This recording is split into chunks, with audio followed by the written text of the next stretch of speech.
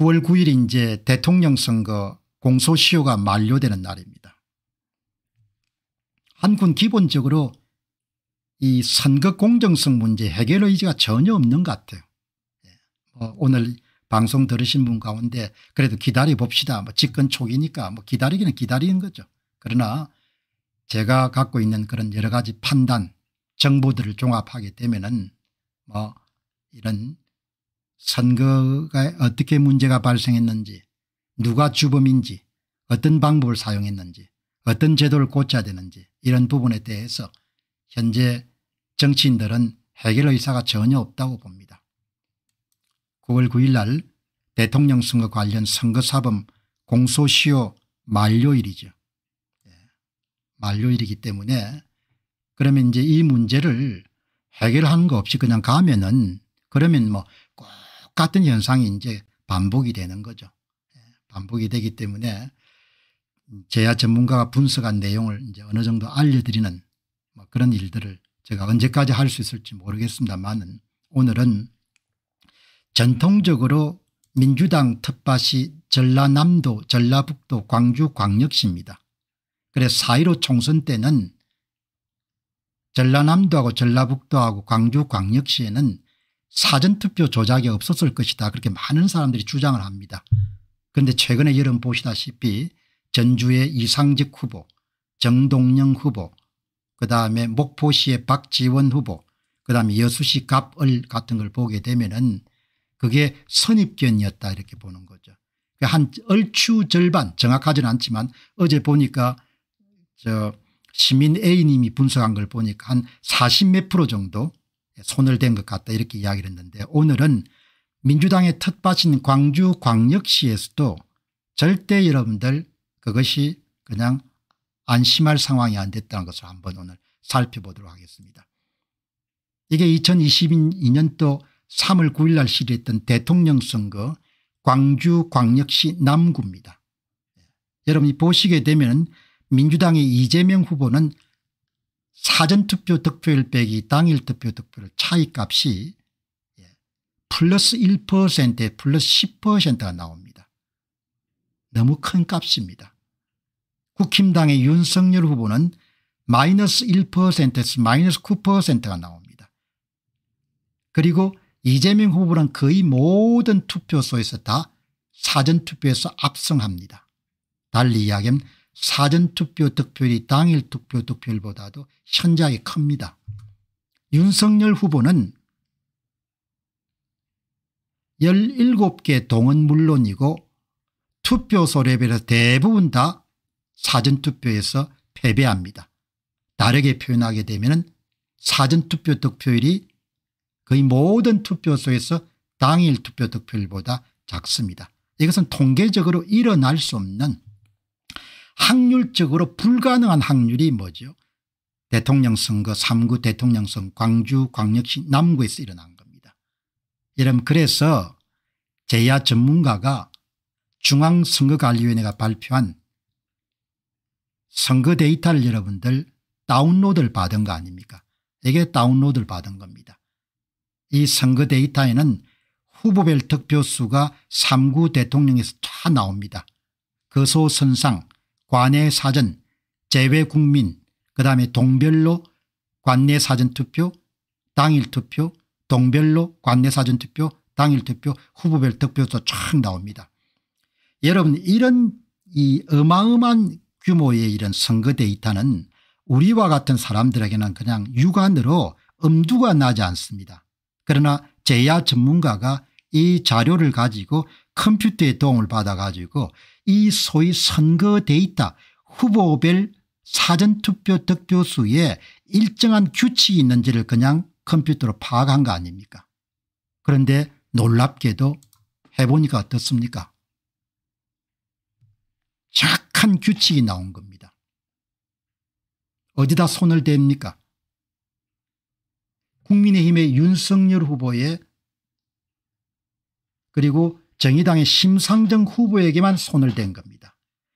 두 사람이 얻은 사전투표 득표수에서 뭐 한 40%인가를 빼앗아 가지고 더불어민주당 이재명 후보에게 딱 더, 더해주는 그런 관계식에 착하게 뭐죠 선거 데이터가 맞는 겁니다. 그 이야기는 뭘 이야기하는 거 아니까 선거 데이터를 전산 프로그램을 이용해 가지고 만들어냈다는 이야기입니다. 어떤 프로그램인가 하니까 윤석열의 사전투표 득표수에서 30%를 40%를 빼앗고 몇 프로입니까? 여기 보시면 나중에 파악이 되니까 정확하게 이야기해야 되니까. 어 40%네. 40%를 여러분들 빼앗고 심상정 후보의 40%를 빼앗아 가지고 더불어민주당 이재명 후보와 함께 더해주는 그런 공식을 프로그램을 만들어 가지고 그걸 돌린 겁니다. 그걸 돌려 가지고 후보별 사전투표 득표수를 만든 겁니다. 그게 바로 이 자료인 겁니다. 이게 사전투표에 참가한 투표자들이 던진 표수가 아니고 전산 프로그램을 돌려 가지고 만든 숫자라는 것을 발각해내는 겁니다. 그러니까 무슨 뭐 QR코드를 사용했니 투표지 관리관 도장을 찍었니 에? 무슨 뭐, 뭐 원격으로 조정했니 투표지 분류기와 외부와 연결이 됐니 아무짝에 소용이 없다는 이야기입니다. 이게 여러분들 작물입니다. 도둑질한 최종 결과물입니다. 이게. 컴퓨터 이름 입력된 로그 기록들은 다 이제 뭐죠 다 지워버렸습니다. 정글을 인멸한 거죠. 투표지 분리기도 다 뭐 포매팅 같은 게 다 없죠. 그리고 우리는 현장을 본 바도 없고 사람들이 가끔 물어보지 않습니까 공방사님 봤습니까 그걸 어떻게 보냐 근데 본 것보다 더 확실한 게 뭐다 선거 데이터인 거죠. 최종 결과물이니까. 박스가 있는데 박스 안에서 무슨 짓을 했는지 모르겠는데 무슨 꿍지랑 꿍지랑 꿍지랑 짓을 한 거죠. 그래서 나온 결과가 뭡니까 그게 뭐죠 예. 그게 범죄가 다 있는 겁니다. 그걸 누가 찾아냈습니까 제야 전문가가 뭘 가지고 중앙선거관리나 공식적으로 발표한 후보별 사전투표 득표수를 가지고 그 사전투표 득표수에 뭘 찾아냈죠 정확한 뭐죠? 공식에 의해서 만들어진 것을 확인한 겁니다. 그 이야기는 뭘 이야기한 겁니까? 숫자를 만들어냈다는 거 아닙니까? 첫 번째는 후보별 선거 데이터에서 정확한 규칙이 발견된 거죠. 두 번째는 특정 후보들에게서 일정 비율의 표가 정확하게 여기서는 심상정 후보하고 윤석열 후보입니다. 민주당 후보에게로 이동되었음이 발견된 거죠. 이것은 전산 프로그램에 의해서 후보별 사전투표 득표수가 생산된 것을 뜻한 거죠. 이 어마어마한 일을 다 덮는 겁니다. 그러니까 나는 뭐 할 만큼 했습니다. 할 만큼 했기 때문에 이것이 밝혀지든 밝혀지지 않든 간에 그것은 내 수중을 떠난 일이기 때문에 내가 할수 있는 것은 다 딴 사람이 안 하니까 이게 당신들이 사전투표를 조작을 이렇게 했고 전산 프로그램 이렇게 짰고 지역별로 해보니까 예? 검찰에 다 제출할 겁니다. 예. 검찰의 이름들 광주 광역시 사례가 다 제출이 됐고 재판부에 또 일부가 다 그동안 분석한 것을 다 붙여가지고 담당 변호사분이 다 내겠죠. 역사적 기록으로. 예. 이게 대졸자가 많은 대한민국의 지금 실상인 겁니다. 예. 이 선거 데이터가 전국의 거의 모든 선거 데이터가 문재인 정권하에 치러진 모든 선거 데이터가 다 가짜인 겁니다. 전산 프로그램이 만든 겁니다. 후보별 사전투표수를 보니까 윤석열과 함께 40%를 빼앗고 심상정하게 40% 돼가지고 예, 거기 확보된 표수를 그대로 뭡니까 더불어민주당 이재명 함께 넘겨준 것이 그 숫자에 딱 뭡니까 중앙선거관리원회 발표한 선거 데이터 그대로 맞는 겁니다. 중앙선거관리원회 발표한 구체적으로 말하면 후보별 사전투표 득표수가 그대로 맞아떨어지는 겁니다. 그러면 어, 떤 것을 뜻합니까 예.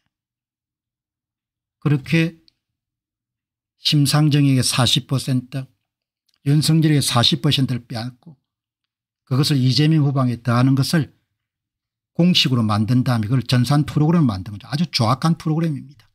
그걸 돌려가지고 숫자를 만든 것이 이 중앙선거관련에 발표된 숫자인 겁니다.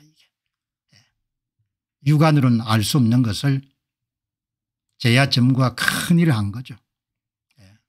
이런 어마어마한 일이 나온 겁니다. 선거 데이터에서 정확한 수학 규칙이 나온 겁니다. 특정 후보들에게서 일정 비율로 표가 여러분들 빼앗겨 가지고 이재명 후보에게 넘어간 겁니다. 그것을 전산 프로로 짜가지고 득표수를 제조한 이야기죠. 3구 대통령 선거의 전국에 다 3구 대통령 선거에 해당되는 것이 아니고 6월 지방선거 2020년 총선 2018년 지방선거 2017년 대통령 선거까지 그런데 신임 대통령은 입 다물자는 겁니다.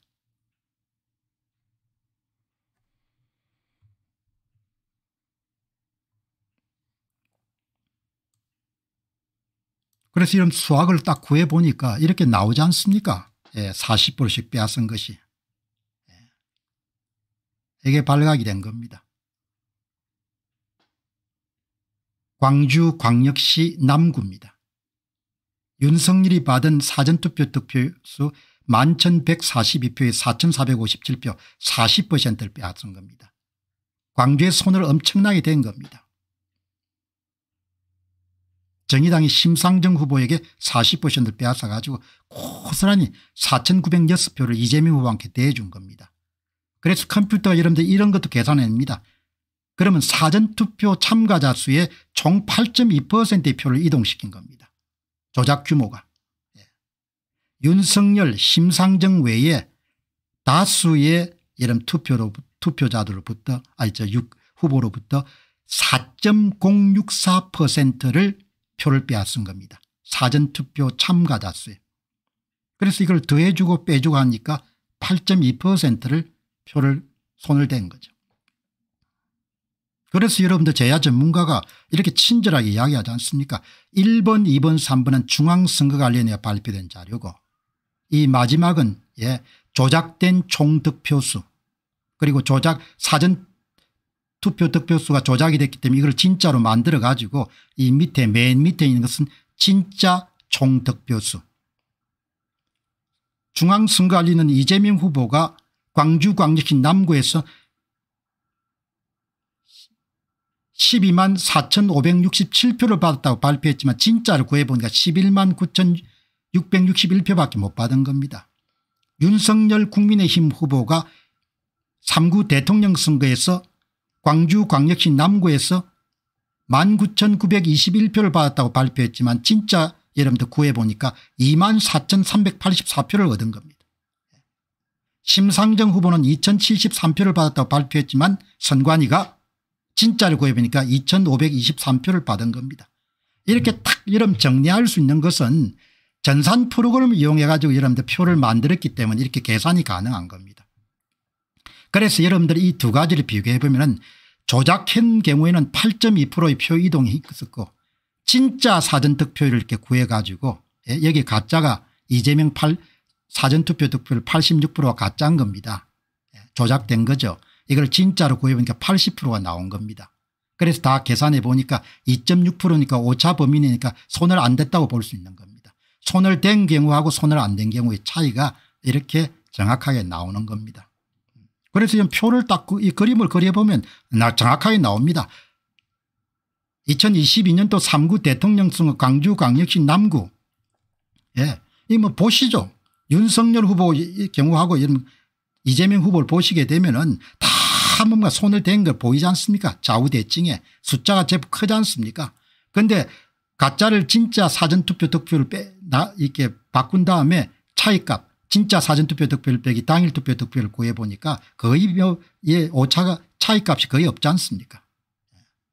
이렇게 그냥 뭐 선거 데이터만큼 유력한 증거가 없는 겁니다. 이런 어마어마한 여러분들 가지고 예, 이런 걸 놓고 뭐 예, 그냥 덮자. 뭐 아무 일 없는 것처럼. 예, 뭐 추수를 맞아서 또 행사도 필요하겠죠. 김치찌개 괜찮죠 출석 전날 맹동간 윤석열 무료 급식소스 배식 대통령이 끓인 김치찌개 간이 어떤가요 뭐 이런 이야기 하는 거죠. 예? 예.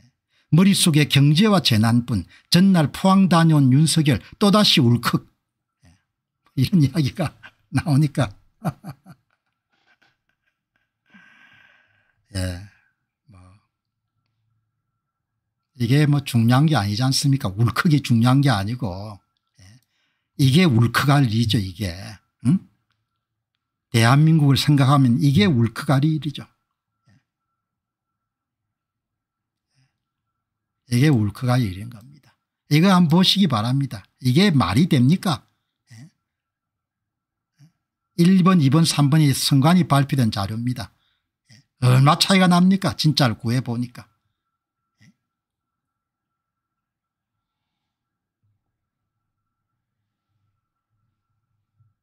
이게 뭐 예?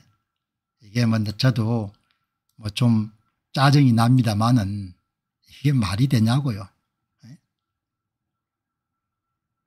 그러냐 다음에 뭐 나라가 어려워지더라도 뭐 할 수 없습니다. 그거는 뭐 어떻게 하겠습니까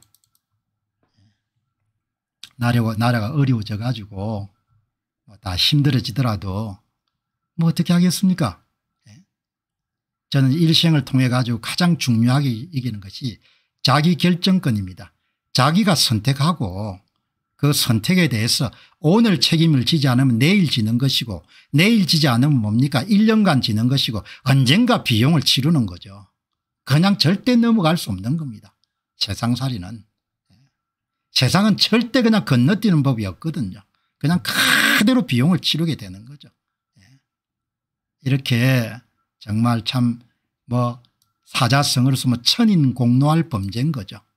천인 공노할 범죄가 이렇게 일어나 가지고 엉망진창이 됐는데 몰랐으면 그냥 넘어가는데 어떻든 깨어있는 사람들이 이렇게 찾아낸 거 아닙니까? 찾아내 가지고 이제 문제를 제기한 거 아니에요.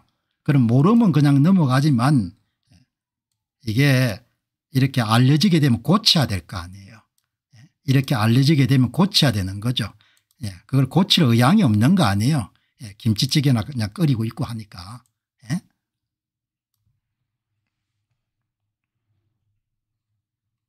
김치찌개나 열심히 끓여보세요. 국민들이 나중에 죽어날 겁니다. 보세요. 제가 무슨 뭐 밥 먹고 할 일 없는 사람이 돼서 이런 일을 하는 것도 아니고 언젠가는 저도 손을 털겠지만 이래서는 안 되는 겁니다. 이게 왜 그런 거 하니까 구한말을 생각해 보면 됩니다. 우리 세대만 죽을 고생을 하는 것이 아니고 아이들 세대가 그냥 골로 가는 거지 않습니까 그렇게 생각해야 되는 거죠. 여러분들께 기독교로 보는 세계 역사란 책을 소개합니다. 세계 역사의 인물과 사건을 통해 드러난 문명, 종교, 철학 그리고 예술과 사상을 예리한 통찰력과 분석과 전망으로 독자를 한없는 상상의 세계로 초대합니다.